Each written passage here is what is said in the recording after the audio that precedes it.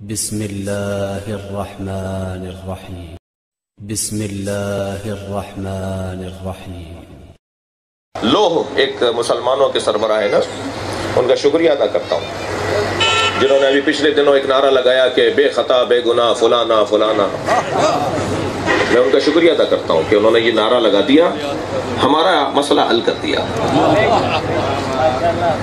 जी, वो वो जब वो जमात इस्लामी के सरबरा ने कहा था ना कि करबला में दोनों तरफ़ साहबी थे। मेरे मौला हुसैन की तरफ़ भी साहबी थे और मारने वाले जो आए थे वो भी साहबी थे। तो बड़ा शोर मचा था उनकी जमात में भी और पूरे पाकिस्तान में। आपको याद होगा अभी तीन, चार साल पहले, पाँच साल पहले।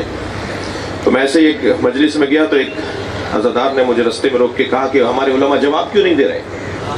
इतनी बड़ी बात वो कर गए कि दोनों तरफ़ साहबी थे। आप लोग जवाब क्यों नहीं देते? मैंने कहा, जी, अभी देता हूँ जाके जवाब।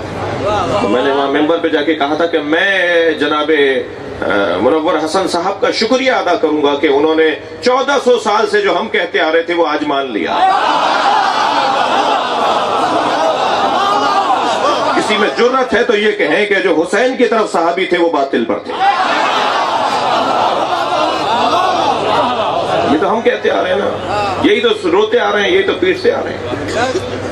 इसी तरह इन साहब ने जो कहा ना, ये नारा लगाया, इसके बाद दस किताबें अब तक आ चुकी हैं उनके रद में। उनके रद में दस किताबें आ चुकी हैं। हमारे तमाम मुश्तदीन ने ये फतवा दिया हुआ है, ये उनका फैसला है, हम उसके पैरोकार हैं, उस फतवे पर हामिल हैं, अमल कुरंदा हैं, कि शेखैन के बारे में जबान को बंद रखो। कोई बात उनके बारे में नहीं कहो, इसलिए कि मुसलमानों में फसाद चलेगा। हमारे सारे मुश्तदीन का हुक्म है कि खबरदार, नामुनासिब जुमला शेखैन के बारे में कहना ये शरण आराम है। इसका हरगिज ये भी मतलब नहीं है कि वो हमारे लिए आइडियल है। दोनों बातों को रोशन करने की ज़रूरत है। हम उनके बारे में कोई नामुनासिब जुमला नहीं कहेंगे, मगर ये भी मतलब नहीं है कि वो हमारे लिए आइडियल है। हमारे लिए आइडियल अली की जात है। हम बाद पैगंबर अगर किसी को नमूने अमल मानते हैं तो मौला अली को मानते दूसरों के बारे में हम बात नहीं करना चाहते, कोई बात नहीं करना चाहते, कोई गुफ्तगु नहीं करना चाहते।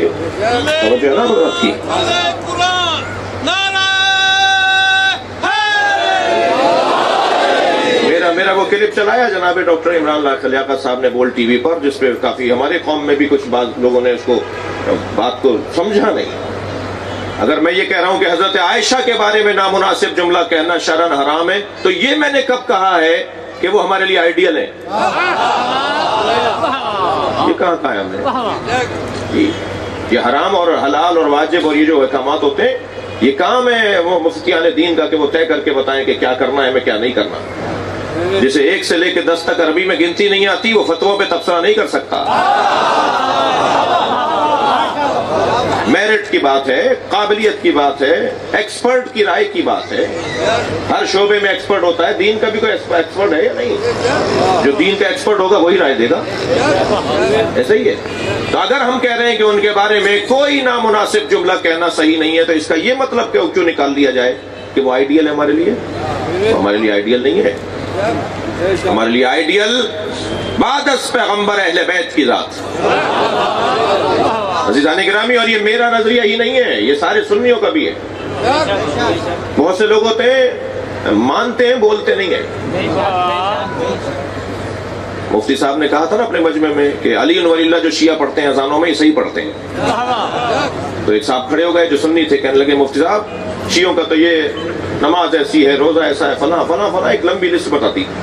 तो उन्होंने कहा, मुझे इतना बताओ, शिया जो कलमे में पढ़ते हैं, अजानों में पढ़ते हैं, अली अली अल्लाह के वली नहीं है। अपने सारे मजमे, अहले सुन्नत भाइयों के सारे मजमे से उन्होंने इकरार दिया। अली अल्लाह के वली नहीं है। सबने कहा हाँ अली अल्लाह के वली है। कहने के बस यही फ़र्क है, तुम मानते हो, बोलते नहीं हो।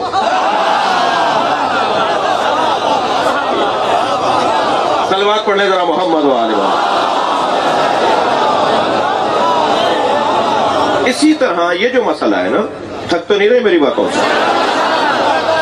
इसी तरह ये जो मसला है कि बादस पैगंबर अगर कोई साहिब फजीलत है तो तरतीब में वो अली है। ये सारा आलम इस्लाम मानता है, मगर बोलते कुछ कुछ है। कोई कोई बोलता है। हिंदुस्तान में योम हुसैन हो रहा था, ख्वाजा निजामुद्दीन सानी ये जो दिल्ली में जो मजार है ना, निजामुद्दीन औलिया का, इनके सज्जादा नशीन, वो खिताब करने आए। कहने लगे, सुनो भाई, मैं सुननी हूँ, मगर तफजीली सुननी हूँ। और तफजीली सुननी उसे कहते हैं जो बादज नबी अली की फजीलत का कायल हो। फिर अपने मजमे को समझाने के लिए कहने लगे, सुनो, तरतीबें दो तरह की होती हैं। एक तरतीब फजीलत होती है, एक तरतीब खिलाफत होती है। अली तरतीब खिलाफत में चौथे हैं, मगर तरतीब फजीलत में पहले हैं। अब ये सुन्नी आलिम का बयान है, मेरे भाई बड़े बुज़ुर्ग आलिम का बयान है। उन्होंने कहा, तरतीब फजीलत में अली पहले हैं। तो मजमे में से एक साहब खड़े हो गए। कहने लगे, मुझे एक बात का जवाब चाहिए। फरमाने लगे, कहो, क्या कहना चाहते हो? का मुझे ये बताइए, जो तरतीब फजीलत में पहला हो, उसे तरतीब खिलाफत में भी तो पहला होना चाहिए। तो उलझ के कहने लगे, उलझ के जवाब देने लगे, कहने लगे, तुम्हें एक लाख तेईस हज़ार नौ सौ निन्यानवे पैगम्बरों के बाद आने वाला पहला समझ में आता है?